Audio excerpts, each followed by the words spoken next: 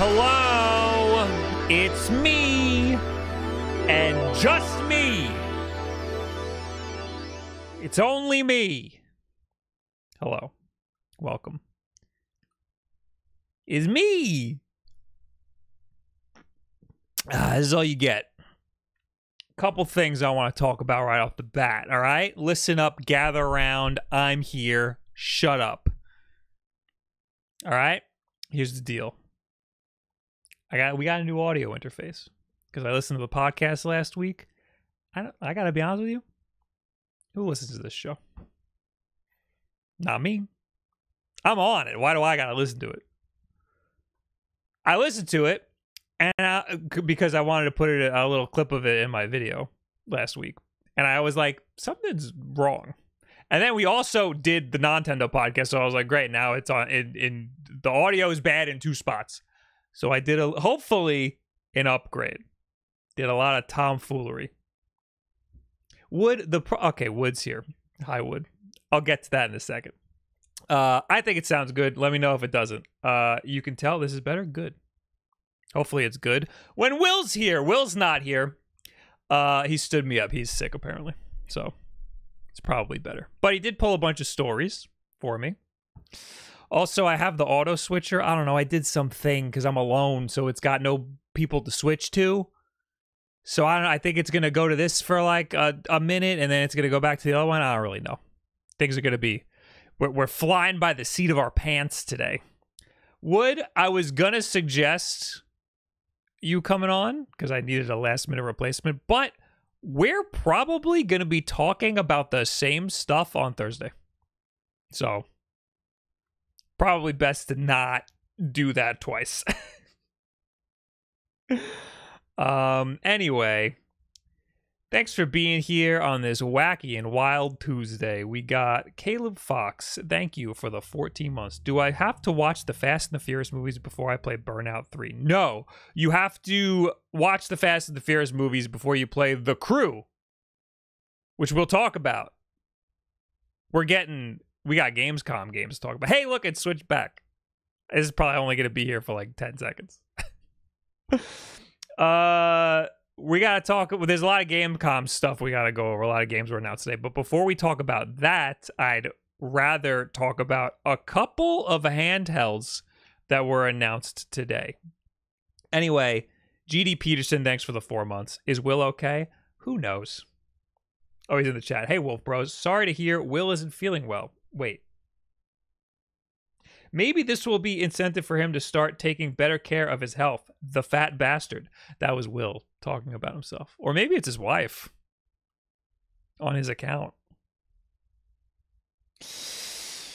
Jeffrey Sorensen said with 28 months, feel better, Will. Oh, everybody, I'll pass. We'll pass around a get well soon card to everybody, and everybody can sign it, and then we'll give it to him next week. How about that? Uh, Golem, thank you for the 200 bits. Put Zim in the chair. He would not stay. More random shit to talk to you guys about. I got a new camera. It's a photo camera. Uh, Pacini, my buddy, uh, got a new camera. he's like, "Do you want this?" And he gave me like a really good deal on it. So I was like, "Let me try it, see if I like it." Uh, and I'm gonna post pictures that I took with it today and yesterday, and it's fucking cool, man. It's a Fuji Film F. No. V100F. It it simulates film, but it's digital, and it's cool. I took a lot of cool pictures, and I'll post them after the podcast. F one F one fifty. No, it's a Ford. I hate you guys. Uh, Sleeping Toads, thank you for the 26 months. Get will soon. Well, all right. And Charlie, thank you for the Prime. And fucking Punchline, thanks for the subscription. Where you post them? Probably on Twitter. Yo, that's a good camera. It's fucking cool. Does it have in body image stabilization, though? Because I am a little afraid to take videos with it. The videos do look good. It's only 1080p. All right, we should talk about the news. This is probably going to be a relatively short podcast today because I'm alone. There's only one person to speak, and I don't want to do it for that long. So there you go. Uh, if you're curious, the new audio interface is a U Universal Audio Volt. I could have gotten the one with the built-in compressor. Probably should have. I just thought this one looked better and would look cooler on camera. Will now you know how I feel when Bob ignores my messages? Oh God, is he still talking? I could actually just pull up just his messages. I think. Oh no, I can't. I don't have Chatterino. Yeah, why can't I do that? If I disappear, it's because I'm either puking or falling asleep. Okay, well, you're not obligated to be here. You shouldn't be here on your day off.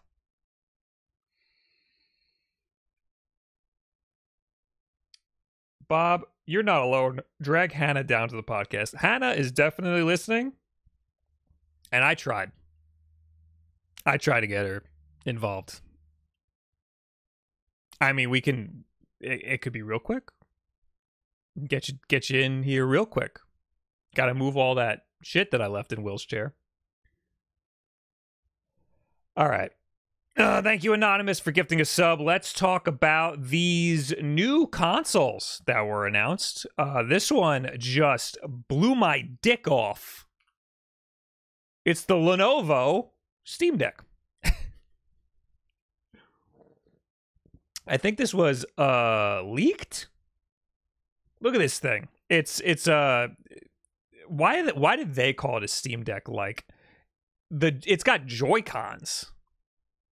Like what are we doing here? A few weeks ago we learned the first reports about Lenovo's Legion Go, the company's planned answer to handheld PC gaming machines like the Steam Deck and the ROG Ally, not to mention the upcoming Aya Neo Kun why are we talking about Aya Neo again? What's the Kun? Oh, it's it's like a smaller Windows one. Aya Neo is also coming out with an Android device. That's the only one of their devices that I'm interested in. I should bring that up though. Aya Neo Android and we, we can we can add that into the list of handhelds that are coming out.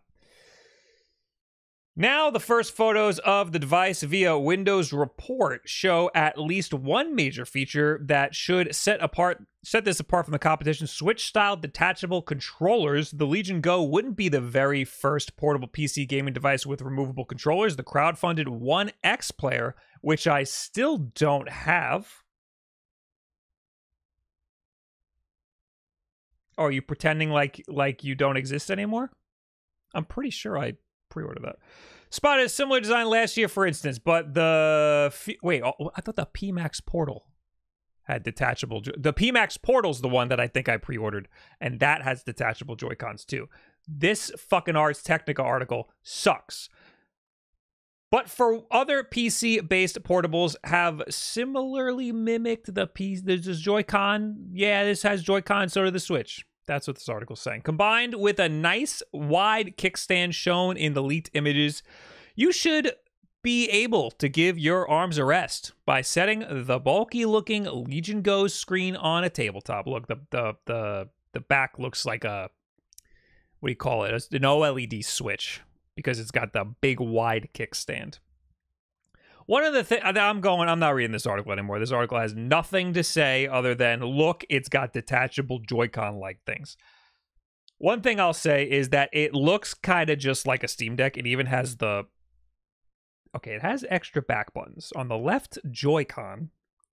It has the two extra back buttons. On the right Joy-Con, they're horizontal for some reason. That's weird but it's shaped like a Steam Deck and it has the bumps like a Steam Deck, like like the grips. The Steam Deck is very heavy, and when you're playing it like in bed, it it it is cumbersome. So I think there is something to playing it with the Joy-Cons detached in tabletop mode. Like you're maybe on a flight and you have it set up in the little uh what do you call it? The the tray, the tray table. And you have your your Joy Cons at your sides, or you're laying in bed, you have it propped up on your on your chest, and you're playing it. That seems cool. I don't know how well it'll work. It's, it's Windows, so like, how well is the Bluetooth from the controllers really going to work compared to that of like a Switch where everything's just native in there? I don't know. I I I mean, I'm interested. Hopefully, it's cheap. There's absolutely no other information about this. It's Windows 11 based. I don't even think it was officially announced by Lenovo. I think this was uh, a leak. But whatever. We, we have no idea when it's coming out or, or any of the new information. The Legion Go leaks come just after Lenovo abandoned its button and cooler packed Legion line of Android based gaming phones. These are cool phones. I miss I miss physical buttons in phones. Where are the physical buttons? Is it the whole back? Oh, it's the whole back. This guy's gonna get carpal tunnel. Look at how his fingers are all laid out. Where do we stand on using Switch with an external monitor using direct USB C cable and skipping the Nintendo dock? Says Spider cool man? What do you mean? I mean, that'd be great. That'd be awesome. But they don't let you do that. Uh, Charlie Fenn says the definition of throwing everything and the kitchen sink at something, all handhelds merge into one. Yeah, kind of. I'm glad that there's a bunch of stuff coming out that is uh, Windows based or Steam Deck competitors. I think that there's a lot of room in that market. Even though the Steam Deck is like the guy when you're talking about PC handhelds, I think that it's great to have competition. Uh, and it's great to have all these big major companies like Lenovo getting involved in it. Uh, it's going to be more money than a Steam Deck, and it's going to be a worse experience because it's Windows hopefully Lenovo I'm sure they work with Microsoft pretty frequently. Uh, I would assume Asus does, but uh, I mean, maybe these companies know something that we don't. I'm sure they know that there's a lot of room in this market, so that's why they're jumping into it. Maybe there's some Windows 11 tomfoolery going on soon. I can only hope that with the launch of this Lenovo thing, we're going to get some sort of Windows launcher. Otherwise, Lenovo has to make their own. And can they make one that's as good as the Steam Deck or even the Armoury crate that Asus has? Have you looked into the Pimax Portal at all? Yeah, that's the one with the attached Joy-Con. Is it out? Because I could have sworn I pre-ordered that. Oh, is it at my apartment? Oh no. Oh god. Speaking of that, we'll move on to all of my gripes with the with with Ayn. But first, thank you, Lee Doug, for the five months. Oh my god, it's the side character spin-off episode of the podcast. Yeah, dude, this is the beach episode. No banana suits. Hi, Sean. Thanks for gifting a sub. I appreciate that. Uh, and yeah, thanks for giving us up. I just had surgery today, and after I woke up, the nurse said, Please don't make any important life decisions or buy a Steam Deck. As an Asus ROG ally, I kind of cheered and was kind of shook. What are you talking about? When I woke up from my colonoscopy, I woke up to a text from my manager asking if I wanted to do a sponsorship or something, and I texted him. I immediately just texted him back, "Yeah, whatever. Yeah, it sounds good. I'll do blah blah." And then the doctor came in and said, "For the next like hour or two, don't like drive, operate machinery, or make any like important business decisions." I was like, "Oh fuck."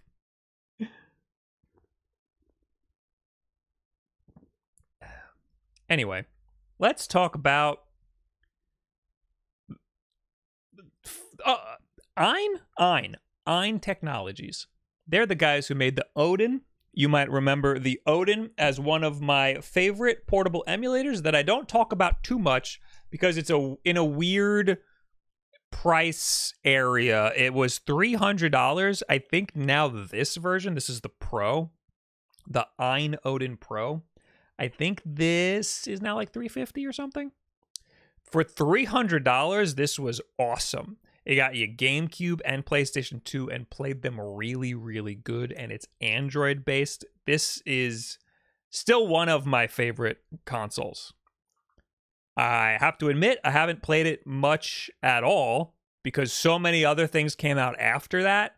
And I, I again, it's in this weird middle area where, like, if I want to play something that's lower powered, I'm just going to play it on like a Miyoo Mini or a Game Boy or or a lot of those games are on Switch now. And if it's like GameCube or PlayStation 2, I got those on my Steam Deck and I have all of my Windows games on my Steam Deck. So plus all these other things came out and I had to test all of that stuff. So I'm always busy trying other things. But I do really like this. This thing was awesome and I like Ayn. I liked Ayn after this because they were new to the market and I was like, they did something no one else was doing. It's cheap. It's very, very good. The launch is very good. It's very easy to to work with. This is awesome. And then they came out with the uh, they announced that they were going to make the Loki, which was Windows based. And that's where my gripes start with Ayn.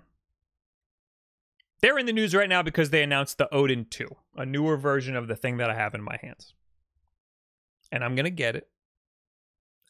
I don't know which version to get though.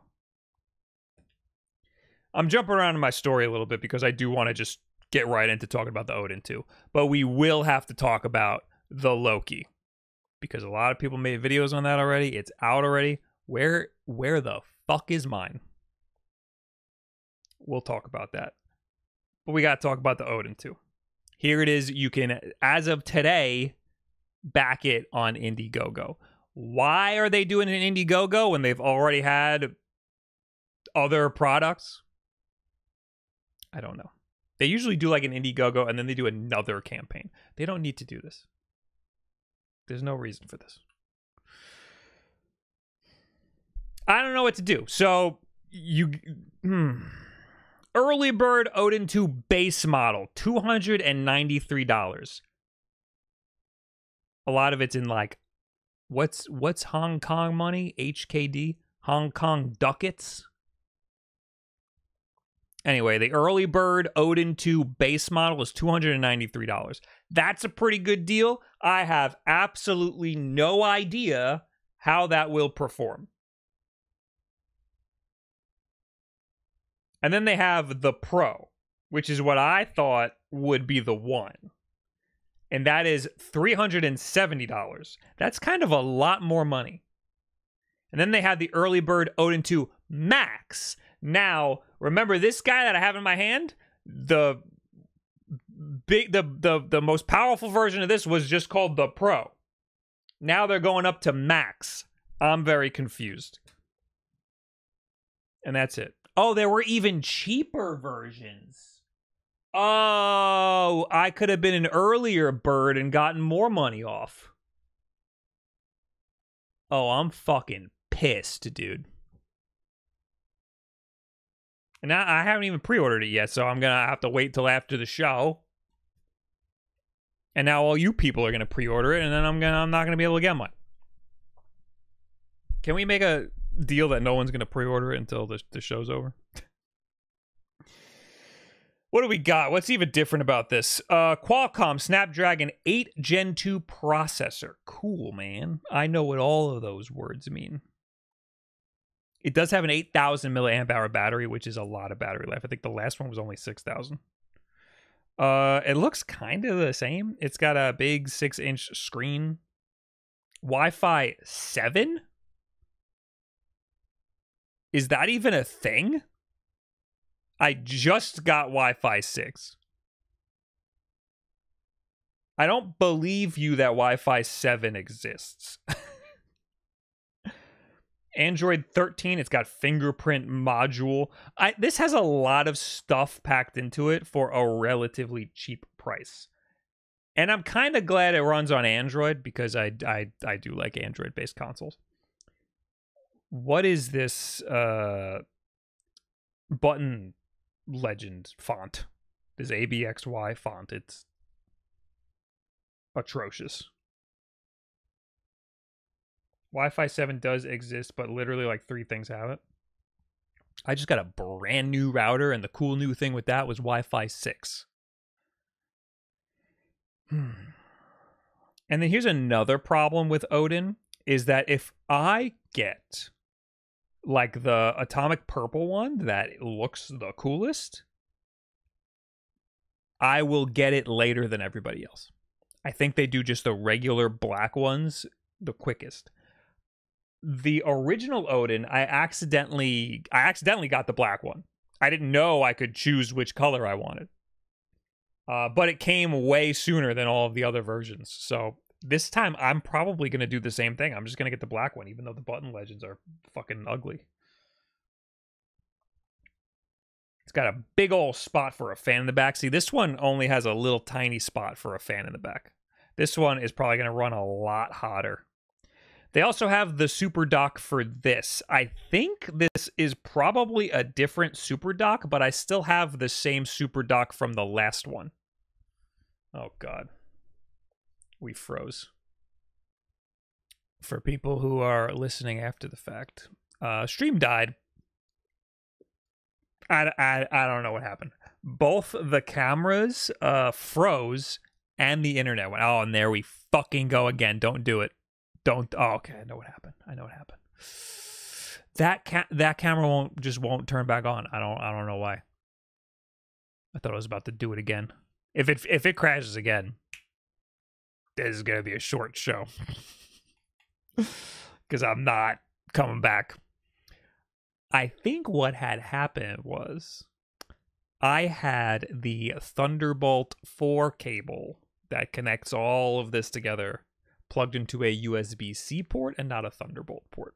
Because on this computer, there's there's Thunderbolt right next to a regular USB C, and I think I made that mistake. But it was working fine. I don't know why it would just fart out like that. Maybe I mean I'm using a new interface that's plugged in through that same port. I don't know. And that camera now just doesn't work. I don't know. What do you think about this, Will? Thank you. Thank you for thank you for being here. Bob, you gotta turn down all this excitement. My nausea can't handle it. Oh my god. Go to sleep. Our theory is that you only had Wi-Fi 6. That is what I have. Is that I didn't know that was a problem until Ayn announced that they created Wi-Fi 7.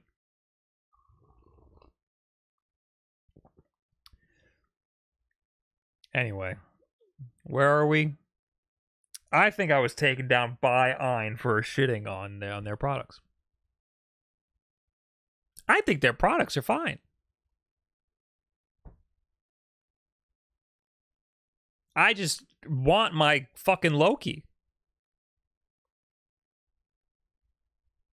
Mesh network, baby. This is hardwired. Don't even don't get me started, man.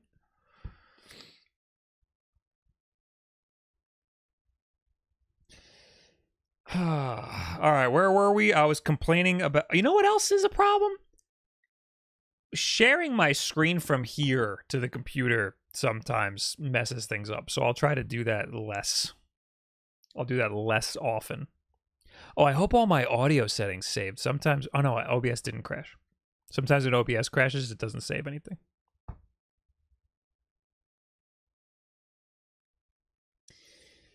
All right so what do I do here, guys? Uh, with the Ayn Odin 2.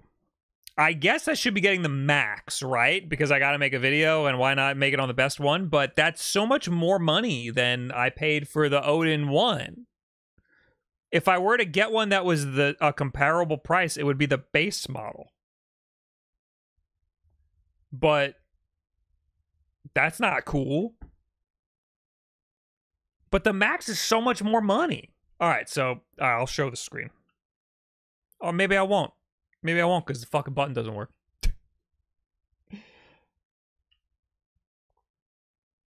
so the regular Odin 2 base is 293. I'll say it all again. There we go. Now that works. Uh the Pro is 370. So we're at 293 and now we're at 370. And the Max is 446. That's a that's oh a little over $150 more than the base model. Which sounds like a lot. Get all of them to compare. I am not willing to do that. I am willing to get exactly one of them and judge all of them based on that one. so I only got the Odin Pro and they had also had three tiers of that and the Pro was the top one. That's why I'm also really mad about the naming convention here because the Pro should be the top one if that's what it was the last time. They shouldn't change the naming convention. I think the mid tier is a good way to go. So, what even is the difference? Oh, here we go. We have it right here. We have, okay, we have nothing. Here it is. Oh, wait. Are you fucking kidding me? Oh, RAM. Okay, RAM is a, is a, is the difference. RAM and storage. Storage, I don't care at all. I'm putting a micro SD card in there. So they all have the same processor. Except then what the hell's this? CPU, it says one gold plus 3.2 gigahertz, four gold, 2.8 gigahertz, three silver. Does that mean it has all of those? Anyway, RAM, you got 8 gigabytes, 12 gigabytes, 16 gigabytes. So you're paying for the RAM. But also storage is 128, 256, and 512. But that, again, the storage I really don't care about. I'm I'm putting ROMs on here, and that's basically it. It's Android only, so who gives a shit?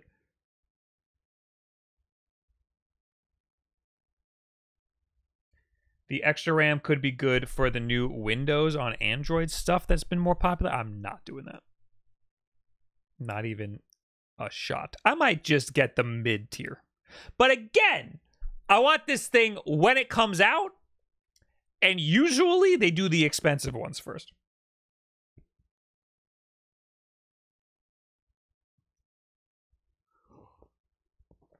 Is it possible to get the 16 gigabyte and then purposely limit the device to only use eight of those gigabytes? Then we might have a good video.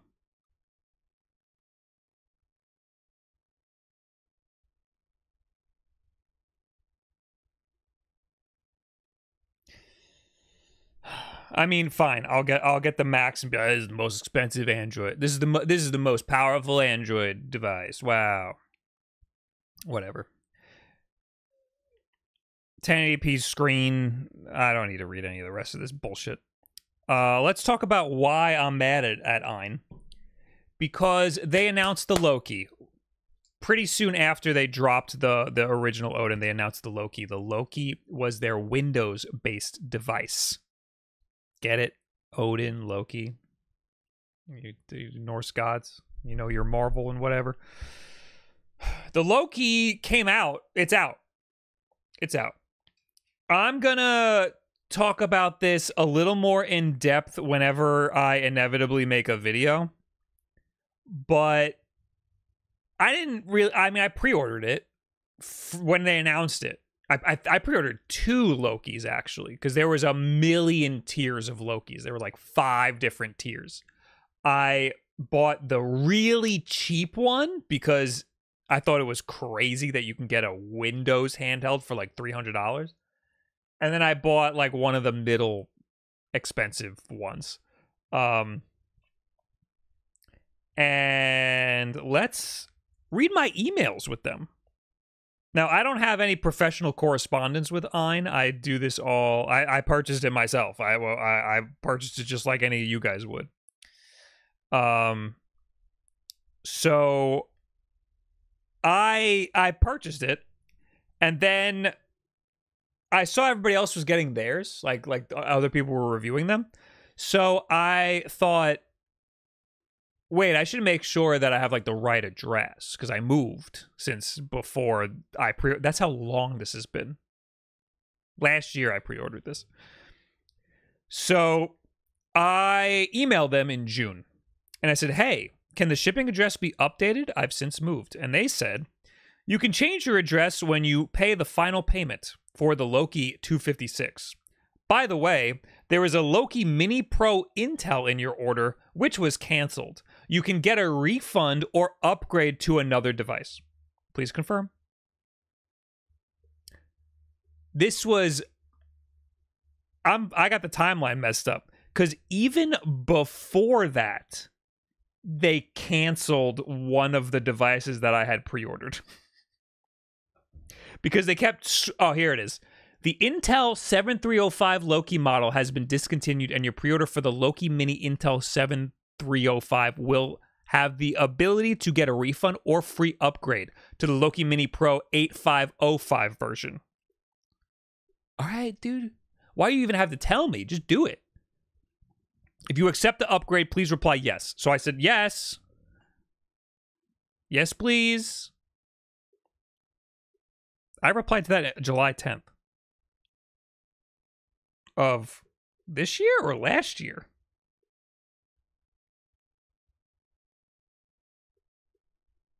Last year, July 10th of last year is when I replied to that. That was the first Loki that they canceled.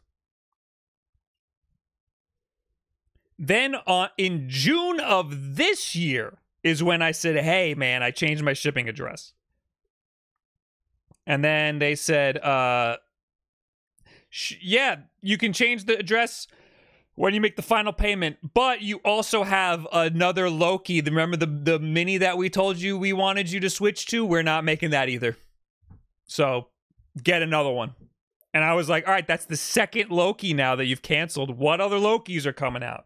They said now Loki Mini Pro AMD, Loki Max, Loki Zero, Loki 128, 256, 512. one, two, three, four, five, six devices. So I said I would. I looked into it for like 30 minutes because I can't, that doesn't tell me fuck all about any of those devices. So I looked into it and I said I would like the Loki Zero and the Loki Mini Pro, please, because I think my whole idea was I wanted the the the cheapest one and like one that was somewhere in the middle. Hello, Bob. Sorry for my confusion. For my confusion, do you mean that you want to change the Loki 252 to the Loki Mini Pro in? Do you want to change the Loki 256 and Loki Mini Pro Intel to the Loki Zero and the Loki Mini Pro? I said, yes. And they said, I have sent the invoice. And I said, thank you. Here's my shipping address. Oh, no, I said, thank you. You said I'd be able to change my shipping address. There is no way to change the shipping address once I I paid I, I paid the rest of the order and there was no way to change the shipping address. So I just gave them the shipping address. And then they sent it back to me and it said, Is this correct? It's an email. Just copy and paste it. I said, Yes, that's correct. And that was on July 31st. And it's out. And uh, where's my Loki?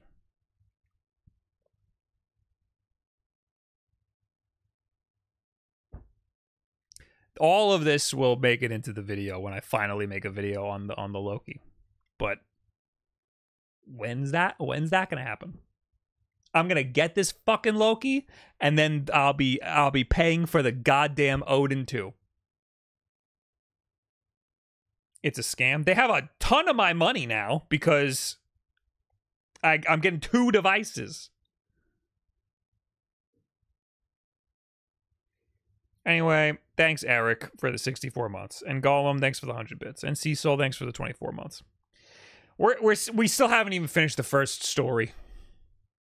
I thought this was going to be a quick pod. I mean, technically it was because the stream crashed. Uh, let's talk about Atari uh, is apparently back. They've they've come back from the dead.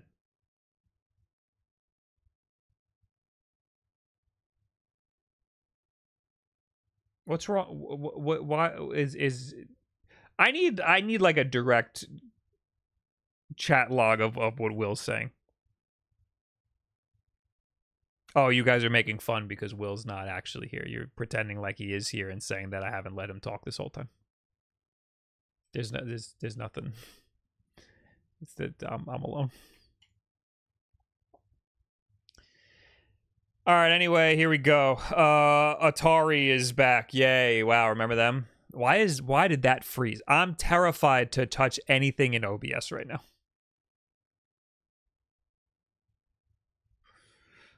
Atari's classic 2600 console was back as a 100 euro modern day faithful recreation. No, that's not a euro, that's a British pound. Because of Brexit. Did you make your XLR? No. I bought this off of Amazon.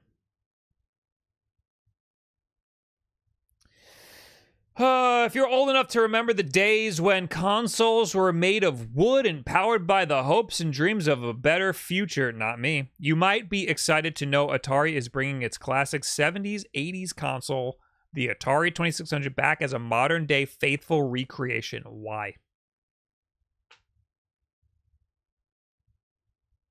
And it'll even play original cartridges. That's cool. If you still have some lying around behind your Zimmer frame. What's a Zimmer frame? I'm not this. Oh.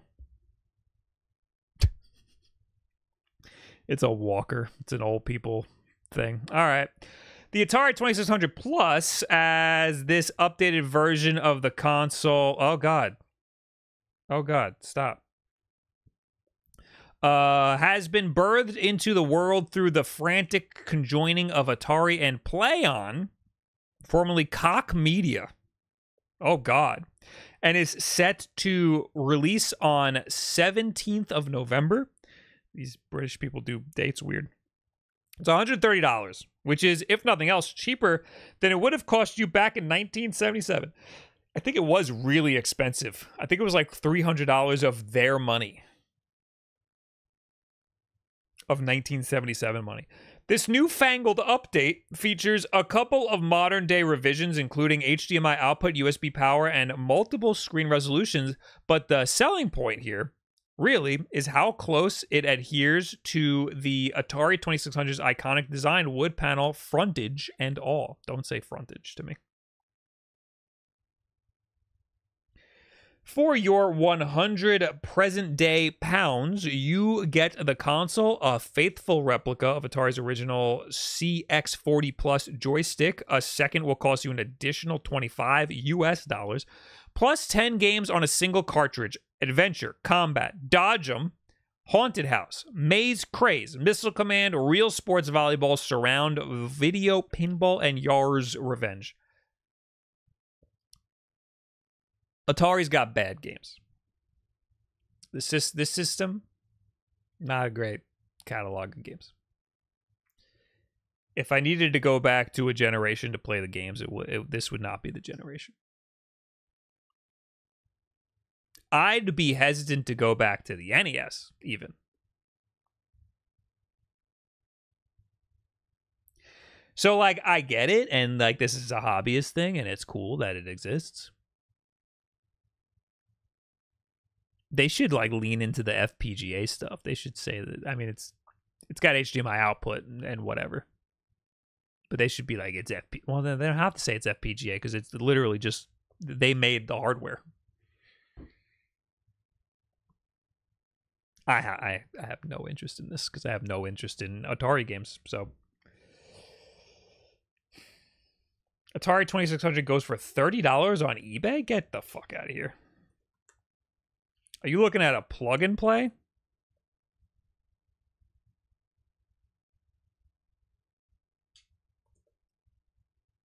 There's no way.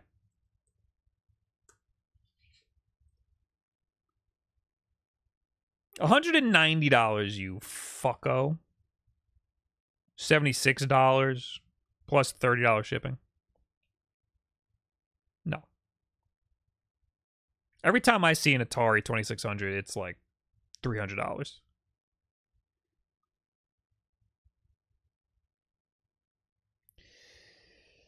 So there's that. Anybody get anybody interested? Anybody who watches this at all interested in a in a in a home Atari console? It's cool that it plays actual cartridges. I like that that's the trend now. It's not just plug and play stuff. Not like the the the Super Nintendo Classic. Everyone was trying to copy that for a while. I like that they're trying to copy analog now. You could put the whole the actual cartridge in there. Imagine they release this and all the games are remakes on the level of Resident Evil 4. hey, that'd be kind of cool.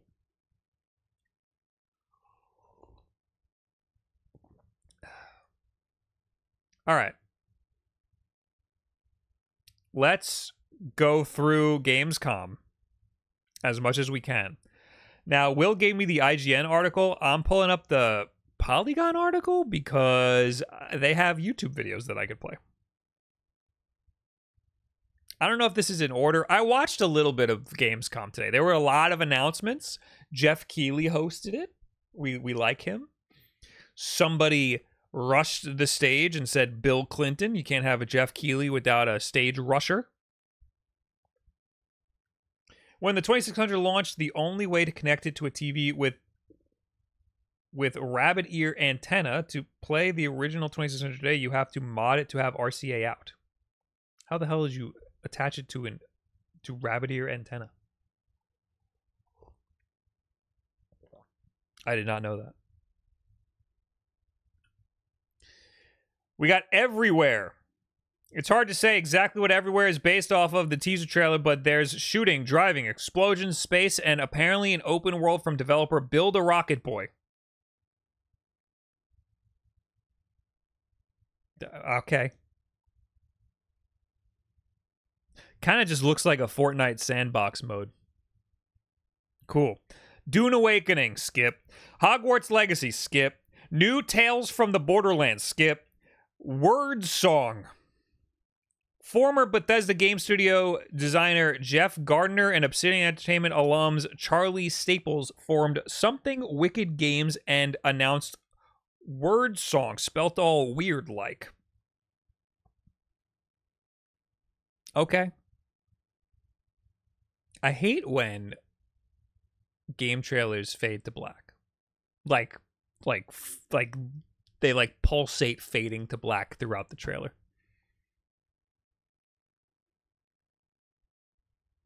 All right, this this showed no gameplay or anything.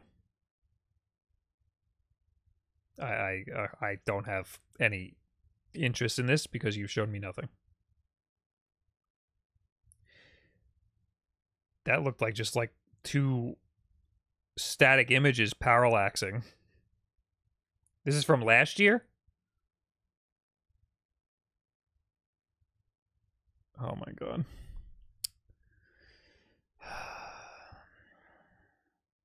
Will, why'd you pull Will, why'd you pull the one from last year? Oh wait, that's right. I pulled the one from last year.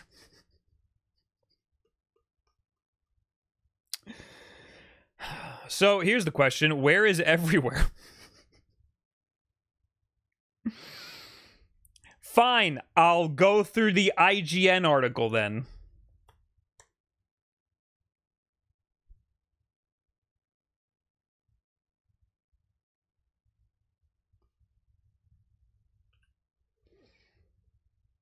Starfield live action trailer. That's what they opened up with. I remember that. I watched that. Uh, that was cool. I wasn't really paying much attention because I'll play the game when I play the game. Then uh freaking Todd Howard came out and said, "Hey, I'm Tom Howard. I only come for Gamescom."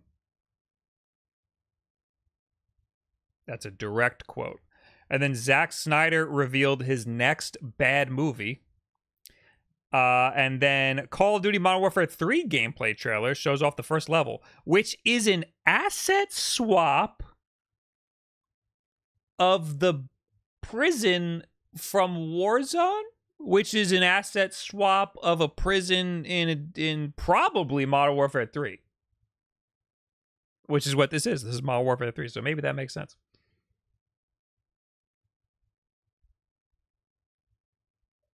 Anyway, uh, I'm not interested in playing the single player of this game, but supposedly it's having its own Warzone. Call of Duty Modern Warfare 3 fans were treated to an extended look at gameplay from the game's first level, which is called Operation 627. Sure, it was great to see the game in action, but the big news was that it will send players to Verdansk, the setting of the original Warzone. Oh. Well, that explains why the prison looked like the one from Warzone, because it's literally the prison from Warzone. Call of Duty Modern Warfare 3 will be released on November 10th, 2023.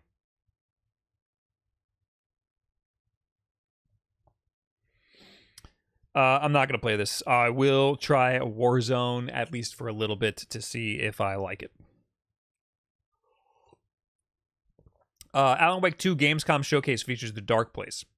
Alan Wake 2 is set to be released on October 17th, 2023, and Gamescom gave those excited for this new spooky adventure a look at The Dark Place, a dream reality that spawns forth from Alan's own mind. As if that wasn't trippy enough, it will seamlessly integrate live action footage into the gameplay to show the dreamlike nature of this mysterious place. That's kind of cool. I'm interested. I'm going to play Alan Wake 2. It seems cool. Diablo 4 Season 2, called Season of the Blood. Skip. Mortal Kombat 1 reveals two new fighters. I don't, I didn't see, yes, I'm older than 17. Thank you, IGN. I didn't see, I, I heard that they announced some Mortal Kombat stuff, but I was doing something and I tuned it out. Mortal Kombat 1 made its presence felt at opening night live with a new gameplay trailer that showed more of the game in action and revealed that Sindel and General Shao will be joining the roster. Motaro and Shujinko will also be added as cameo characters. Isn't Sindel? These aren't like new characters.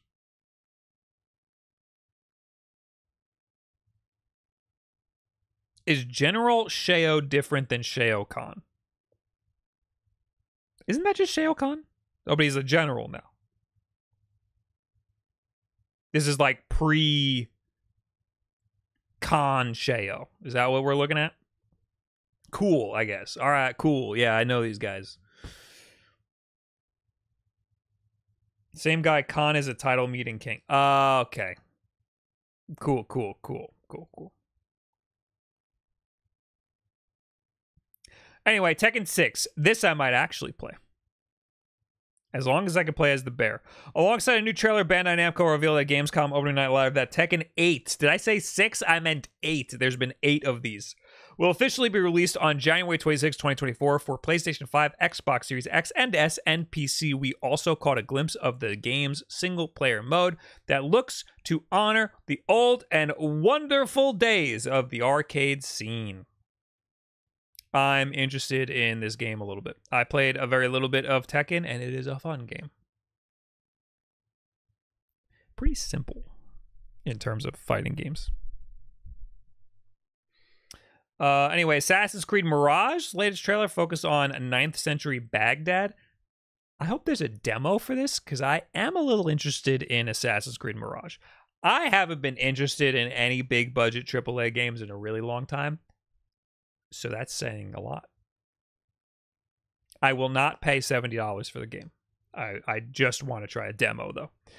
Assassin's Creed Mirage revealed a new gameplay trailer at Gamescom uh, opening night live, and it showcased a 9th century Baghdad and featured a full Arabic voiceover. Mirage stars Basim, a character who first appeared in Assassin's Creed Valhalla, and it is set to be released on October 5th, 2023. I like the linear aspect of the game, like at least more linear than the last couple of Assassin's Creed games.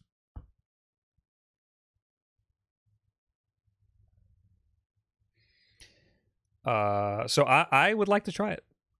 Cyberpunk 2077 2.0 is coming to the base game alongside Phantom Liberty. New gameplay trailer revealed.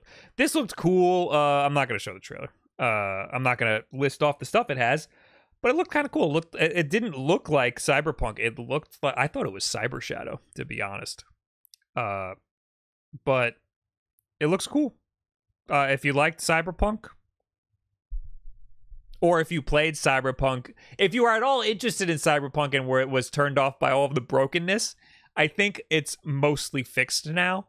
I just didn't like Cyberpunk at its core. Sonic Superstars finally has a release date, does it? Sega has revealed that Sonic Superstars will be released on October 17th, 2023. Fans of the Blue Blur and friends were also treated to a new gameplay trailer that showed off local co op with up to four players and the online free for all battle mode. Okay, I'm pissed off about this. The game does look good, and the couch co op looks cool. This is a trailer focusing on the multiplayer which is an interesting thing to like it's an interesting pitch for your game when it's not online multiplayer. It's required that you're sitting next to the person when you're playing this game.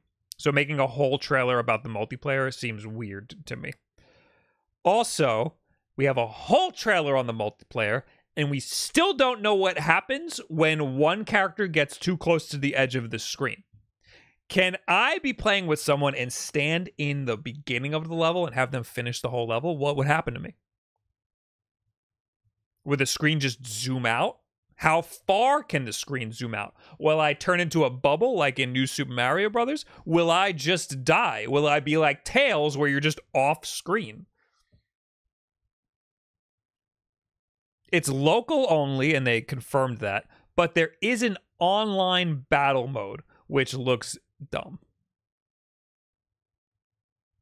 So I like this. I just that's like a really core mechanic that we don't know how it works yet. And if it's shitty, then the whole game's going to be shitty.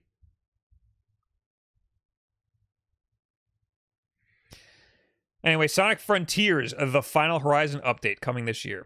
Frontiers is getting a free update called The Final Horizon later this year, and it will add a new story, new playable characters, and new challenges. That's crazy. I didn't get very far in Sonic Frontiers. I would like to. I kind of got uh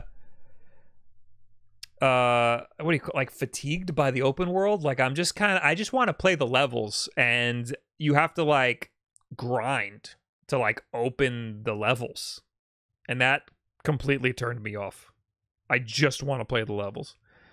And I didn't get very far at all. But in this trailer, he turns into Supersonic. Are you telling me that there's no Supersonic in Sonic Frontiers? There's Supersonic, right? It's not like they're adding Supersonic in this in this version. All right. Well, anyway, Quantic Dream announced Dustborn at Gamescom. All right, cool, dude. Uh, thank goodness you're here is a new game by studio behind Untitled Goose Game. I didn't hear this.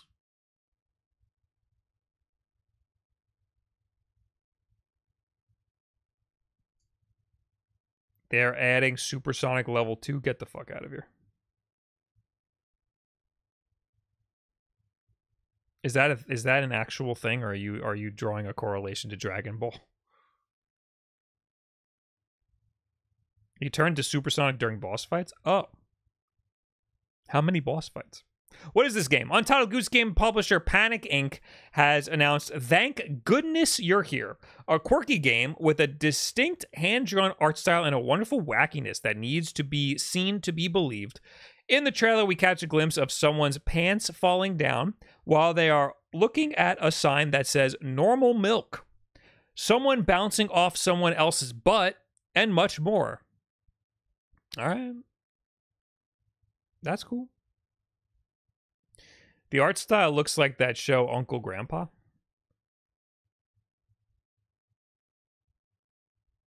So it looks like the game is a it's an adventure game which is comprised of a series of mini games, and also has a lot of cutscenes. It looks like. I mean, Untitled Goose Game was great. So I'm interested.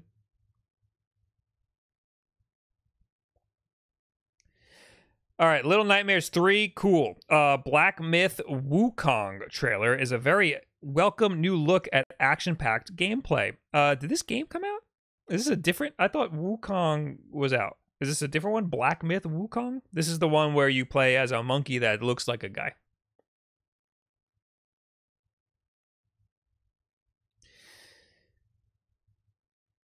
Uh I am not that interested in this game. You might be thinking of Wo Long. I am thinking of Wo Long. Is that not this game?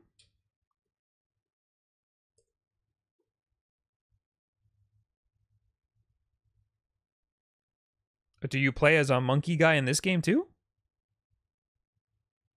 No, you don't. You're just a guy guy.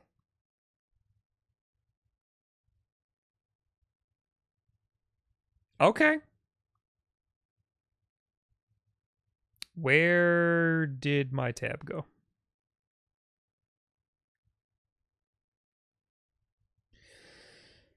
All right, whatever. Uh, Marvel Snap is now available on Steam. Cool. I saw a lot of Twitch streamers were paid to play it today. Medieval Fighter Warhaven. Is this the one where like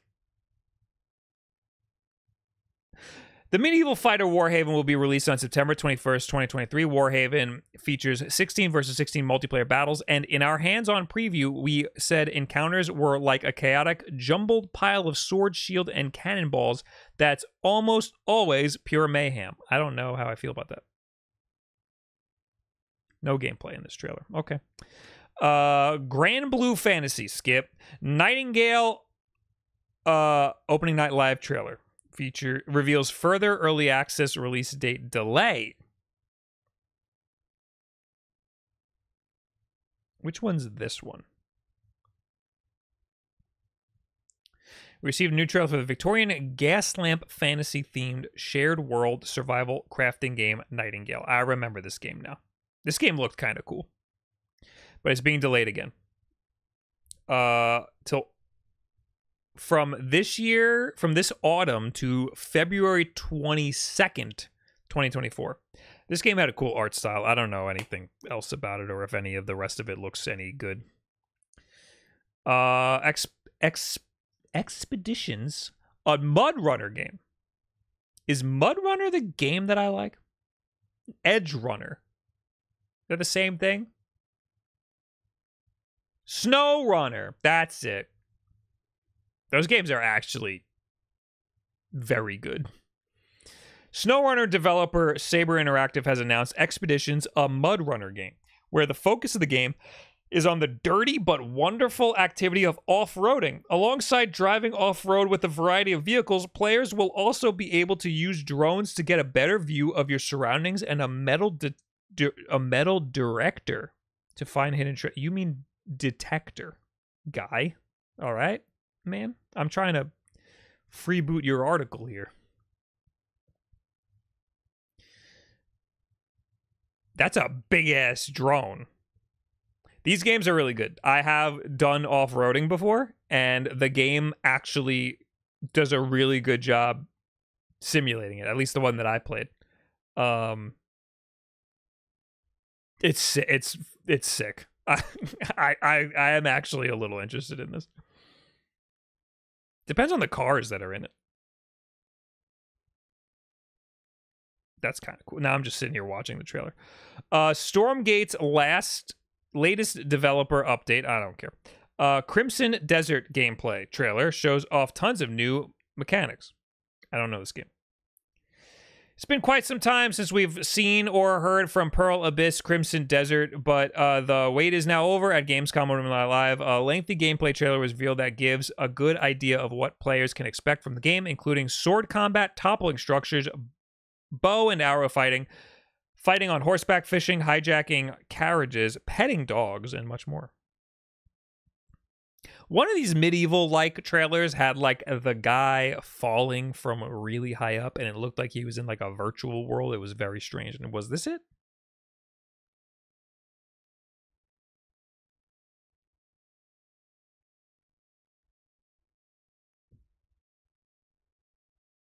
I think this was it.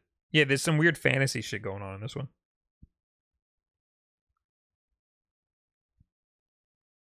I think he, yeah, I think he like. No, it doesn't show it. Oh, there it is. Yeah, what is this about? Oh, you're like, okay. Oh, we got Tears of the Kingdom going on.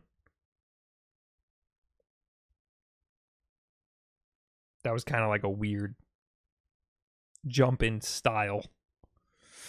All right, whatever. Uh Age of Empire 4.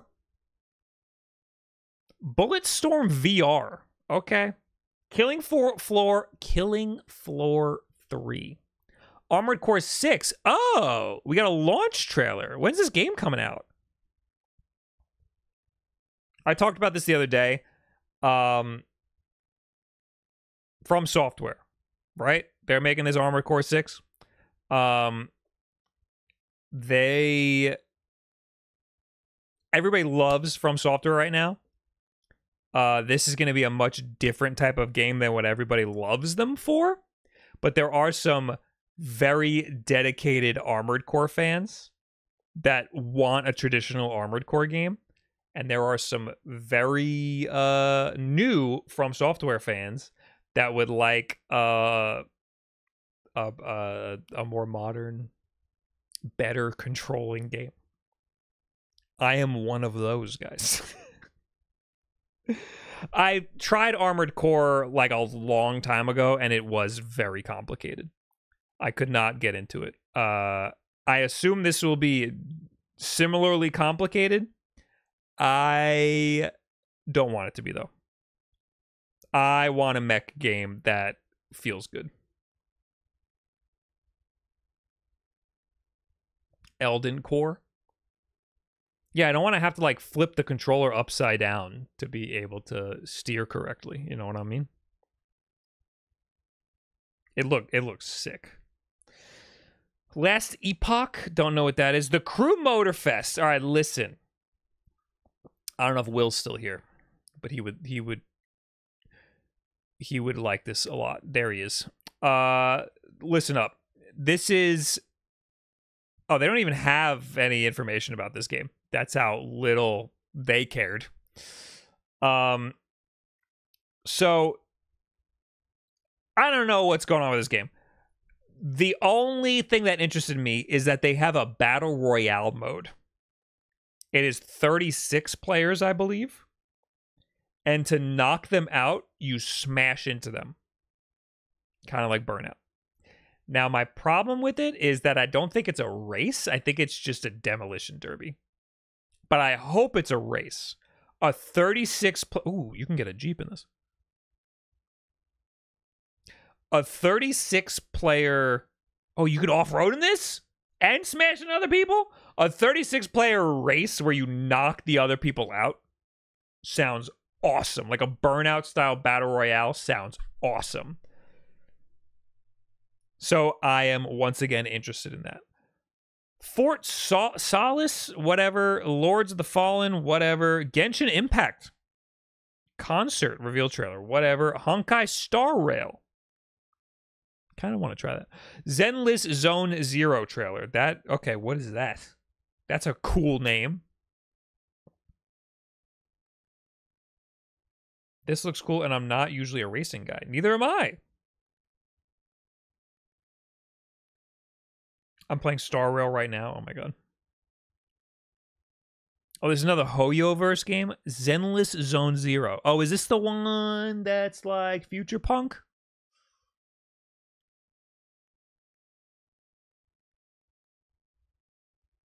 Yo, they got furries in this one? What is the gameplay like in, in Zenless Zone Zero? Is it like Genshin? I refuse to play Star Rail because they bombarded my YouTube videos with ads. Like sponsored, like like oh yeah, this looks good. Zenless Zone Zero.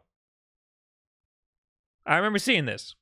It's like Genshin but future punk, and I like that a lot more.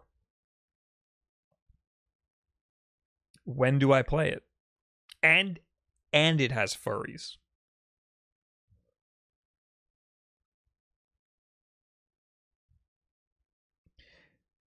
Uh, did you know that Natasha is an underworld doctor? What does that even mean? That didn't have a date at all. Didn't say anything. Payday 3 official trailer. Ice T's in it? All right, I'll have to watch that later. Delta Force? What is that? Is that a VR game? It's from the ad. Oh, God.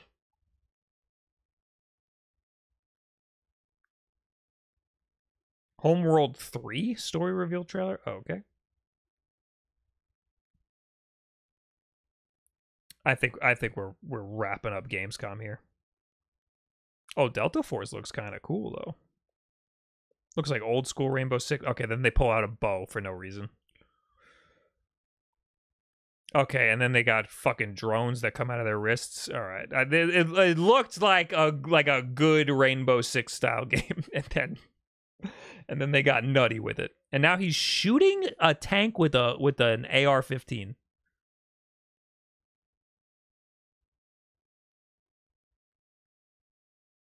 What's the new console? You missed it.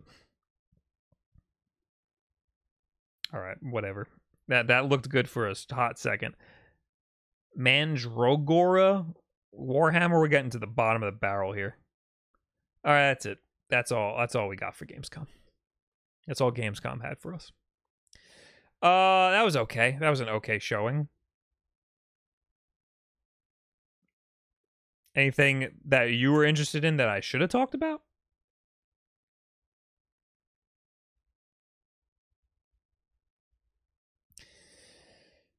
Where do we go from here? Migs Lunar Strike, thanks for the 28 months. Scary Cooper, thanks for the prime. How you guys doing? Good to see you.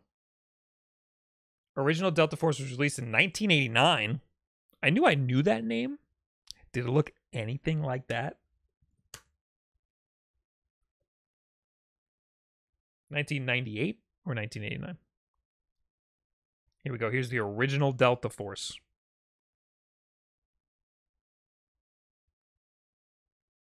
Give me this game. Where the, where's the drones coming out of his wrist here, huh? This looks like Rainbow Six, god damn it.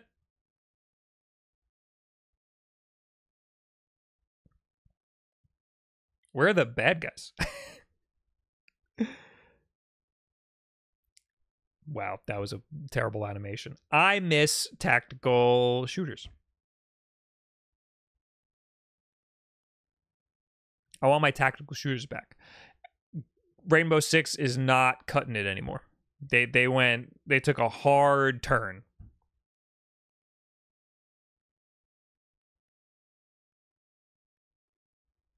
It was tactical tactical but kind of like Ghost Recon.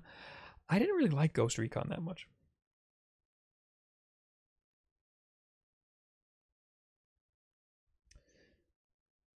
All right. I'm gonna blast through a couple more stories because uh, I wanted this to be quick. Xbox 360 Marketplace is shutting down. Oh no. It'll close July 2024, but you can keep playing your favorite games, according to Microsoft. This November will mark 18 years since Xbox 360 launched. It was a generation defining console that invited many to jump into gaming for the first time and connect with friends around the world. Over the years, we've heard stories of players who found a lifelong love of games, starting with the likes of Kameo, Gears of War, Fable 2, whatever the fuck. Let's get to the point. As we head into 2024, we change we have a change to share about the Xbox 360 experience. On July 29th, 2024, Xbox will stop supporting the ability to purchase new games, DLC, and other entertainment from the Xbox 360 store on the console and on the Xbox 360 marketplace at marketplace.xbox.com. Related to this change, the Microsoft Movies and TV app will no longer function on Xbox 360, which means TV and movie content will no longer be viewable on your Xbox 360 after July 29th, 2024. Between now and July 2024, you can continue purchasing games and DLC from the Xbox 360 store and at the Xbox 360 marketplace. This change will not affect your ability to play Xbox 360 games or DLC you have already purchased. Xbox 360 game content previously purchased will still be available to play. Not only the Xbox 360 console, but also Xbox One and Xbox Series X and S device via backwards compatibility. Uh fine, whatever. Uh, it had to it's it had to close at some point. No, it didn't. It doesn't have to close. They could just keep making the, the, the games available. I don't know how I feel about it. Hopefully, they get better at making. All, I mean, they've already done very good at making Xbox 360 games backwards compatible. Uh, hopefully, they finish up the list. They get a, a couple more games that are backwards compatible before they remove the ability to purchase those games. There are a lot of great uh, Xbox 360 games that are currently available on on the marketplace. One of them is Red Dead Redemption. It's the only way you're going to be able to play it at 4K is by buying the Xbox 360 version of the game. So, purchase it now or just buy you if you buy it physical you put it in the system and it'll i'm sure it'll still download all of the stuff. Hopefully the games you have physically you put it in the cartridge and it'll it'll do the xbox enhanced stuff and the backwards compatible stuff. Hopefully all of that will will be unaffected. It says this will not affect your ability to play xbox 360 games or dlc you have already purchased.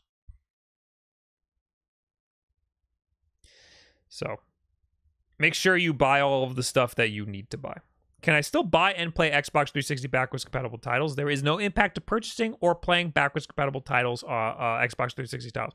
After July 29, 2024, you will still be able to purchase hundreds of great backwards compatible Xbox 360 or and original Xbox games and DLC on Xbox One and Series X and S. Oh. Oh, you just can't do it on a physical Xbox 360. I care about this much less. Okay, so this is more incentive for them to finish out the rest of the library and make sure that all of their stuff is going to end up being uh, backwards compatible. Charles Martinet dies. Just kidding. It seemed like it when they showed when all the news dropped.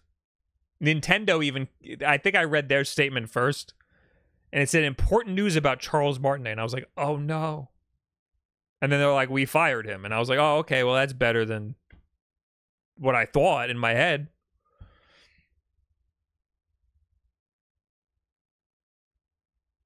Anyway, Charles Martinet, the voice actor uh, of Nintendo's beloved Mario character and other stuff, is stepping down. Is he?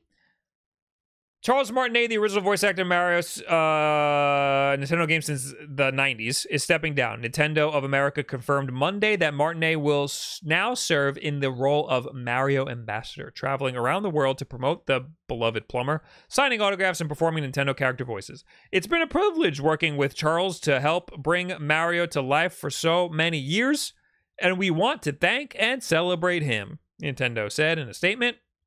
In addition to being the original voice of Mario, he's also voiced Luigi, Wario, Waluigi in the video games. While he did not voice Mario in the recent movie, he did have a small role as Mario's dad, and I liked that role, and he did a good job. In question, in a question and answer session at a Canadian Gaming and Comics Expo two years ago, Martinet told the audience, "I want to voice Mario until I drop dead." Holy shit! In response to a fan's question, according to, so he didn't step down. In response to a fan's question, according to gaming blog The Game Carter, creator, the game creator. But he added, if someday I think I am no longer capable of doing it, I will tell Nintendo to look into finding someone else. Oh, okay. Maybe he did step down. Nintendo did not give did not give say why Martinet is stepping down or who would replace him as Mario's voice. It might have been a mutual thing. They did confirm that it is not him in Super Mario Wonder. There are, in fact, new people voicing Mario and Luigi. So he voiced both of them. Now there are separate voices. I don't think we know what Luigi sounds like yet. I'm a little concerned. I think whoever they got to play Mario now in Wonder sounds exactly like Martinet because I was fooled into thinking that it was Martinet. I thought maybe they were just using old recordings of Martinet.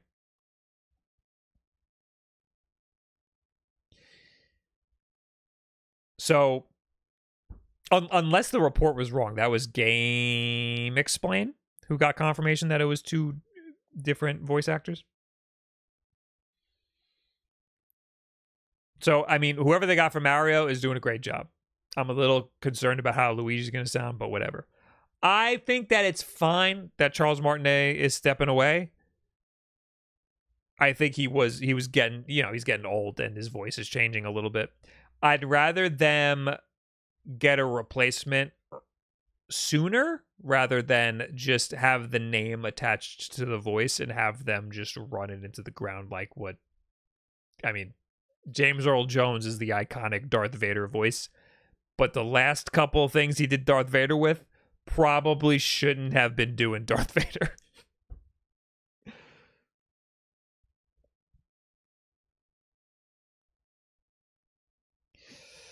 Charles Martinet is voicing Luigi in the Luigi's Mansion Dark Moon remaster. Isn't that just the same voice lines? Aren't they just not changing the voice lines?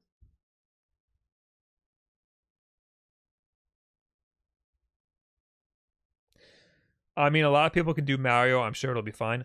Ya wa wahoo. They should have gotten me.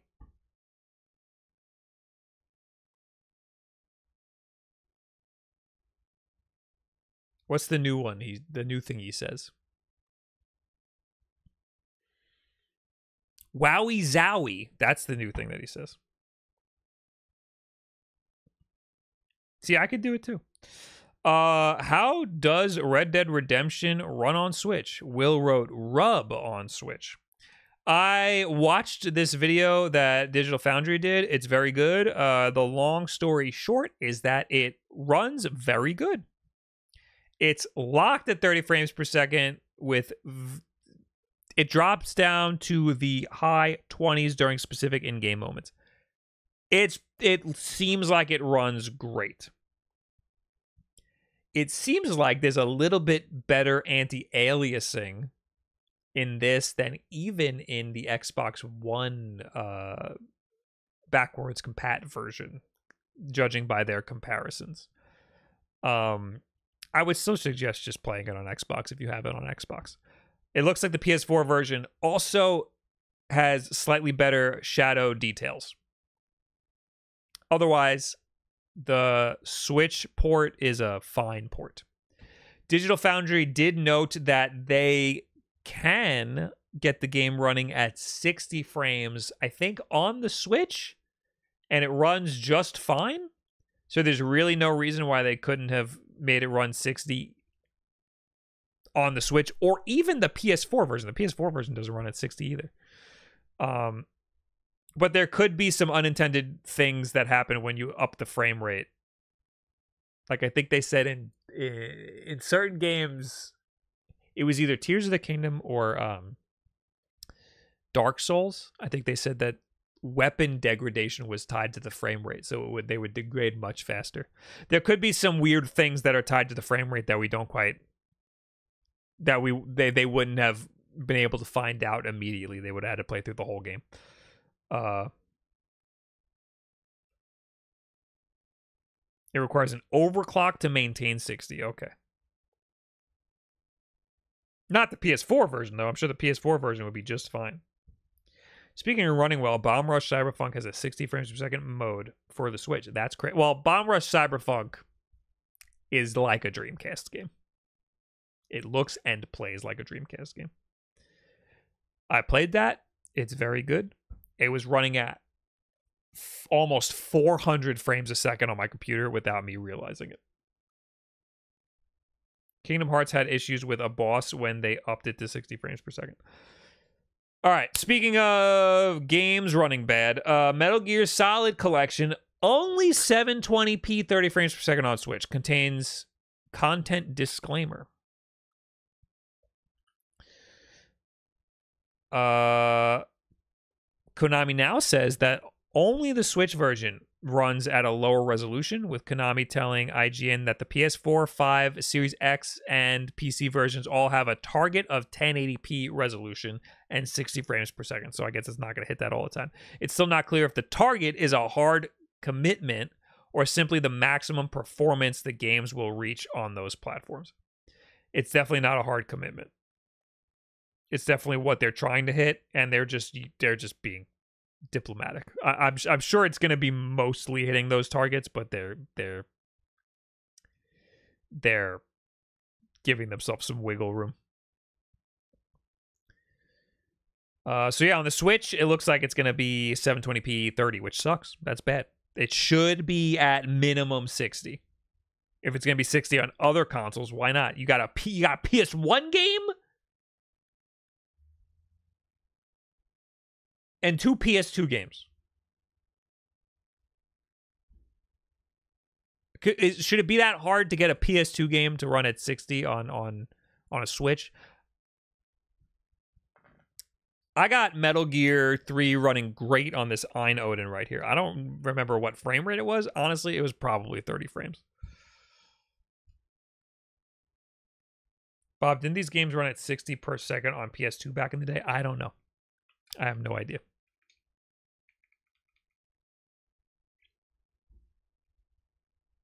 If if I got it running pretty good on this Ayn Odin that's in my hand that it wasn't supposed that's not supposed to run it good. I don't know why a professionally developed port for the Switch can't hit those targets. That's very sad. If it originally ran at 60 on PS2, that is very sad. Did 60 frames per second exist back then? You know, I think it was the PS3, Xbox 360 days where they just gave up on the 60 frames. Well, there was N64 where they were like, we can't even hit 20. And then there was PS2 when they they hit 60. But no, a lot of games were hitting 30 around then. And then Xbox 360 and PS3, they were like, fuck it, we're do everything's 30. F Zero was 60. Yeah, you got one. Uh, all right. I think I'm done. Oh, we gotta talk. There's one. Okay, okay. Two, two, two big newses that we have to that we have to talk about. Uh, Microsoft is selling off the Activision portion of cloud gaming rights to Ubisoft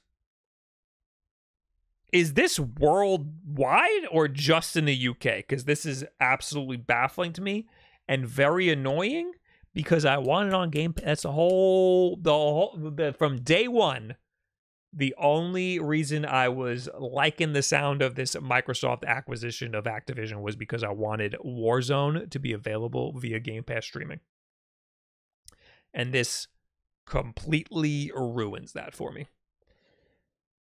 Microsoft's restructuring its proposed Activision Blizzard deal to transfer cloud gaming rights for current and new Activision Blizzard games to Ubisoft. The transfer of rights is designed to appease regulators in the UK that are concerned about the impact Microsoft's proposed $6.68.7 billion deal will have on cloud gaming co- competition. The restructured deal has triggered a new regulatory investigation in the UK that could last until October 18th.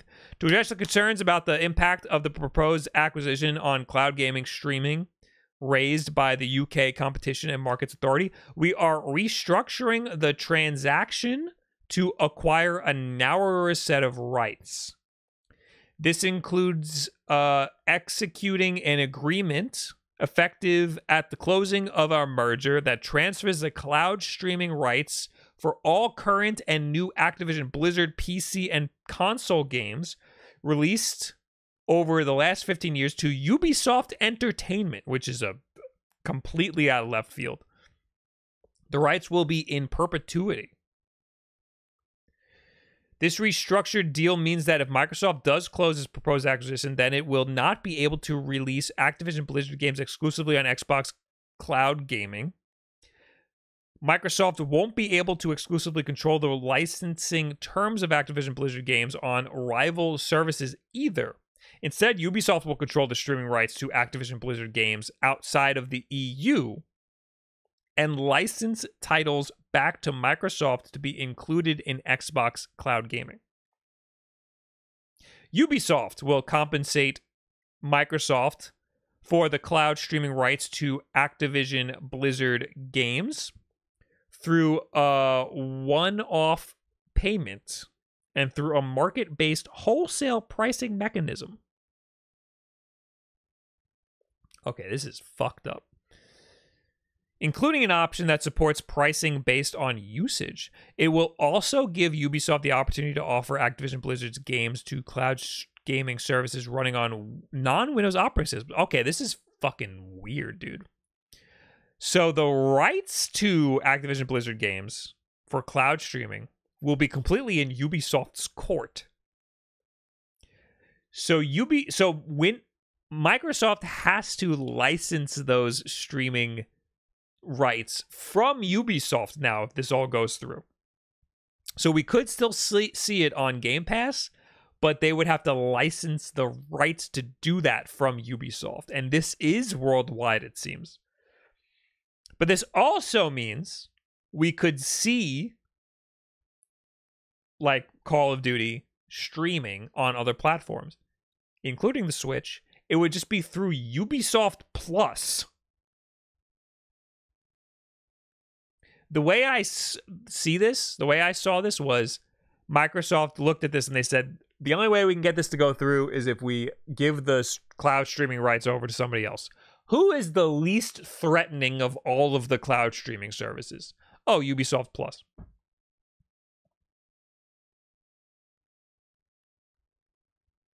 So, okay. I don't know how I feel about that. I mean, I guess it's good because it, it it it fixes the competition issue that the EU had, which which is a valid criticism of, of the merger. Uh it's just going to be weird. It's going to be weird to see what happens with uh, Activision games via streaming. Will will we be able to do it on on uh, Game Pass? Will we be using Ubisoft Plus to play Call of Duty on a Switch? I don't know. Lastly, I have to see what this is. Razer's making a razor. Razors makers team with Razer makers to make a razor Razor.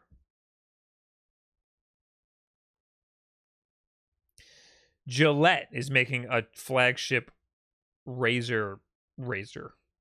There it is. Oh, wow. For gamers, by gamers. Should I buy this? Should I make a video on this? All right. Uh no tweet of the week because they changed the name to x.com and I think that's so dumb I never want to think about that website again. But we'll talk to you people real quick. If you left a comment on last week's Wulff Den podcast, you might hear it here.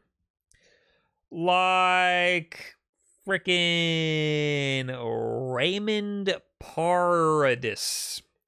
The exclusion of split screen in modern games, I think, is hurting the future generations of gamers. When I was a kid, I only played games with my younger sisters, so games like Forza 6, Minecraft, and the Lego games were staples.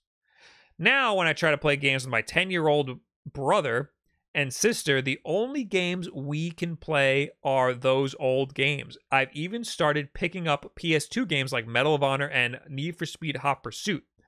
Also, what are some split screen games, new or old, you think I should pick up for them to try? They love playing games together, but I don't think they'll continue playing games if they have to take turns playing Spider Man Remastered. Okay, this is valid. Definitely Sonic Superstars when that comes out. That seems to be geared for couch co op. Uh, check out It Takes Two. That's supposed to be one of the best games in the last few years, and it is basically required to play that game split screen co op. Um, otherwise, it's not looking too good. I was a big fan of Splinter Cell uh uh Conviction. And that had a very good totally separate uh split screen multiplayer campaign. And you could also play it online, I think. But uh I don't know if that's good for a 10-year-old. But no, I think Need for Speed is good, Medal of Honor is good. Oh, okay, well, Rainbow Six Vegas also had a really good split screen, but I mean, that's another one. I don't know if it's good for a 10 year old. Need for Speed's good. Burnout is good. That has a really good multiplayer. Unraveled. Okay, Unraveled. All right, Mike J. File says, This is interesting, but I feel like PC is the best way for games these days. You are forced into a console's set hardware and software, plus physical discs, discs are dying. I like PC because I like Steam now. I just like how versatile using Steam is, and I have a million devices that just so happen to run Steam, and having all my games uh, transfer between all those devices, having cloud saves between all those devices, just works well for me. I don't like the argument that PCs are better than consoles because for con- consoles you're locked into a specific set of hardware for a given amount of years. I don't like that argument because for one the console hardware is usually pretty good for the price that you pay for it. And second, most people aren't upgrading their PCs frequently at all. Most people buy a really expensive gaming PC and use that gaming PC for many, many, many years. I used to build computers all the time, and uh, I didn't for the last computer that I got because I was like, because graphics cards were like impossible to get, and it was just easier to, get a pre-built. So I just did that. Um, before that, I built a computer and I never upgraded it. And before that, I built a computer and never upgraded it. And before that, I built a computer and never upgraded it. So the idea to the idea of upgrading a PC that you built, it, I, I know that people find comfort in that, but in reality, you're not upgrading it often enough to to warrant that f- fucking two thousand dollar purchase you just did.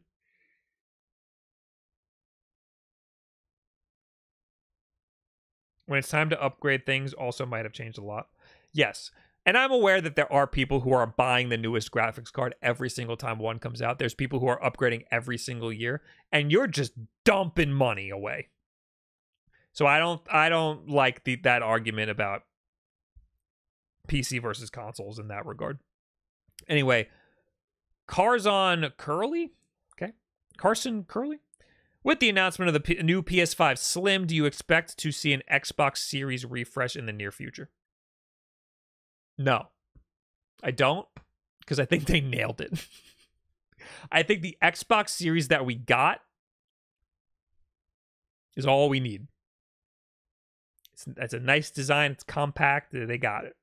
Maybe a different Series X that's a little slimmer and not like a big rectangle. I don't know. Um I do think we are still getting a cloud streaming only device from from Xbox though. Uh I will also say I was thinking about the PS5 Slim. And I don't know if I buy that the disk drive is detachable anymore.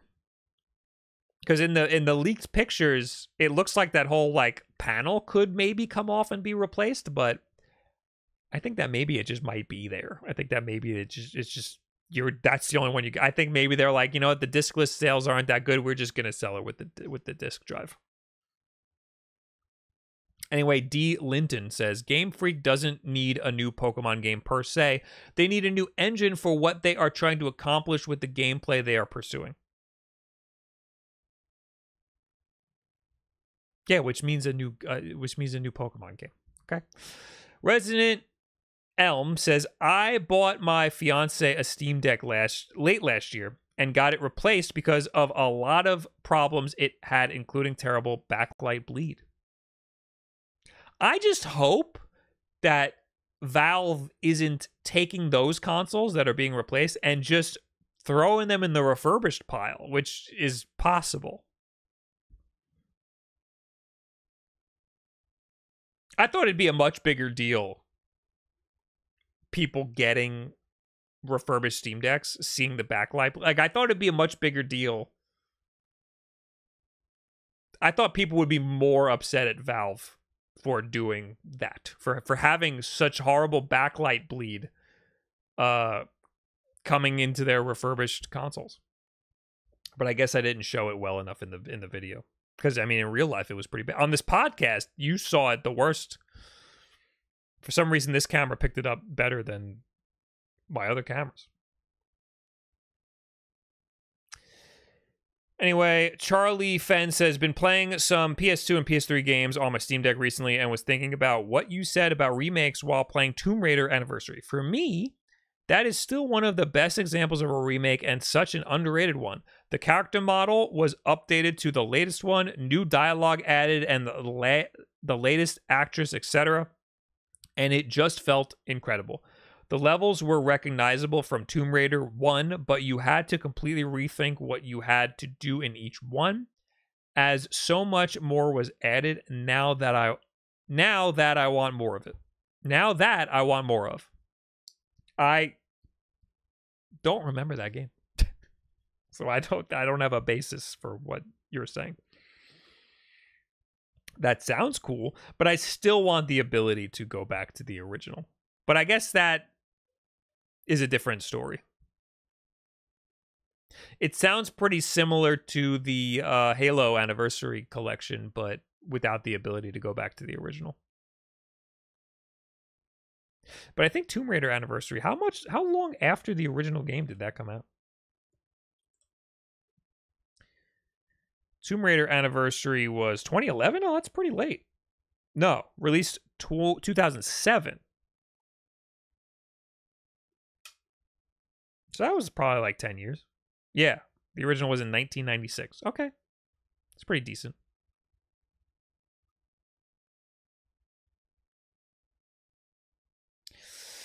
All right. Uh, now I'll talk to you people real quick. Um, R4WS, thank you for the prime. And Burrito Gent, thank you for the prime. Yo, what am I eating? I'm hungles. Thanks for coming back into the stream after we died, by the way. I appreciate you people.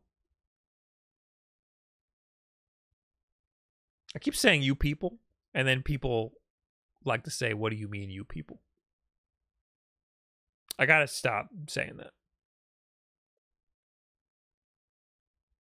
I mean, you people. I mean, you guys. You, you. fuck, fuck you guys.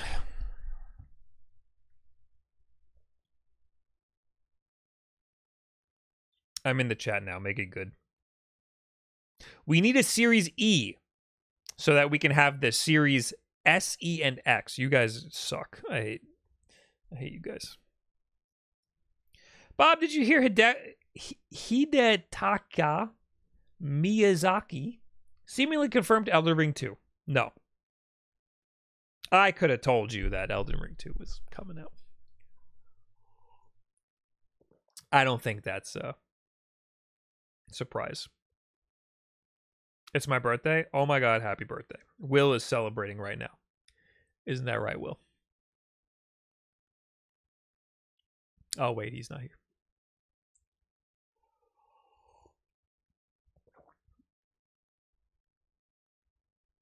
That's literally an Elon Musk joke. He did that with Tesla. I know. I know what it is, okay? Only good thing about the X name change is I don't accidentally open it instead of Twitch. But now I have a new problem with it being called X.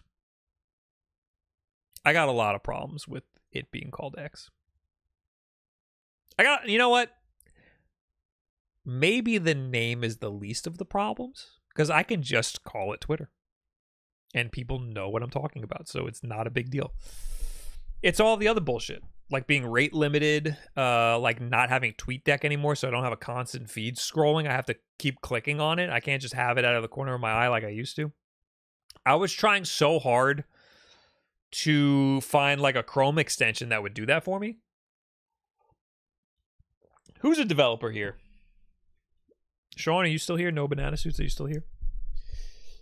I have a request from a developer who can do a Chrome extension, and this seems like a very simple thing to do as someone who's not a developer at all. So I got this one Chrome extension that makes Twitter very minimal. Gets rid of all of the bullshit on the sides, and that's great. I can just leave that tab open in a small thin window on it on the side of my monitor. But it doesn't auto refresh. I found some Chrome extensions that auto refresh and it does they they they do it it refreshes the whole screen and uh you might miss some of the things that's on the screen. What I need is a Chrome extension that can either auto scroll upwards. There's a lot of Chrome extensions that auto scroll downwards. I need a Chrome extension that will auto scroll upwards. I think that will make it so when there's new tweets found on Twitter, it will just scroll up. And that way you won't lose the tweets that were just there. So if it auto ref because if it auto refreshes, you will just lose the ones that are there and you can't go back. So if it just scrolls up, I think you'll be fine. Or the other option is you just click the more tweets. After you're on twitter.com for a certain amount of time, a little thing will come up and say, "Oh, there's more tweets." Click here to scroll up. Just click that for me. Just click it. When that comes up, click. And just do that every time it comes up. Just click. That way I'll have a constant feed that's scrolling, just like TweetDeck was.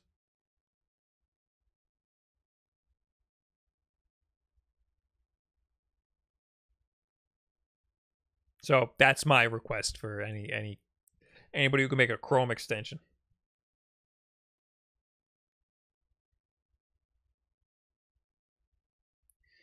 Bob, what's your opinion on Nintendo president Shuntaro Furukawa has weighed in on how the company approaches new technology? Um, I don't think this is important. While there's no particular technology we are focusing on at the moment, we are conducting research on a variety of new technologies. However, I believe the most important thing for our company is not seeking new technologies for novelty's sake, but rather considering how they can lead to revolutions in the act of play itself. The idea is that if we become convinced that incorporating a certain technology can provide customers with a fresh and surprising experience, then the then we covet its research more strongly, making investments which necessary when necessary as well. Yeah, I mean, we know that Nintendo likes putting gimmicks into shit. And of course, they're not going to think that they're gimmicks and they're going to say that there's a lot of research put into them, and I'm sure that there is, but you're not always going to create a revolution. You're going to create a Wii U every once in a while, and that's what I'm concerned about for the next one. So, like, yeah, this is like this is just this is just political speak for, for hey, we we're going to have a gimmick in the next Switch.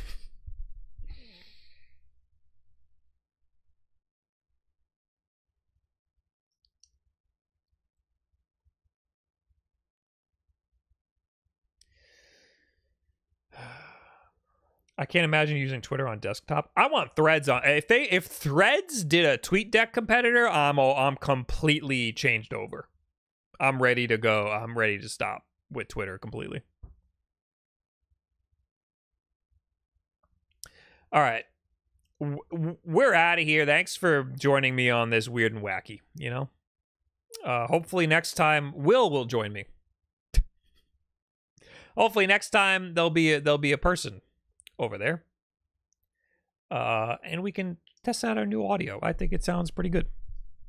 Uh, thanks for rejoining the broadcast after it went down. Uh, sorry for the technical difficulties, but uh, I do what I can. You know, I'm a one man show over here. I'll be back on Thursday. I don't know what I'll be streaming. Hopefully something fun. I gotta start like modding Game Boys. I got so many Game Boys, so much Game Boy stuff I gotta fuck around with.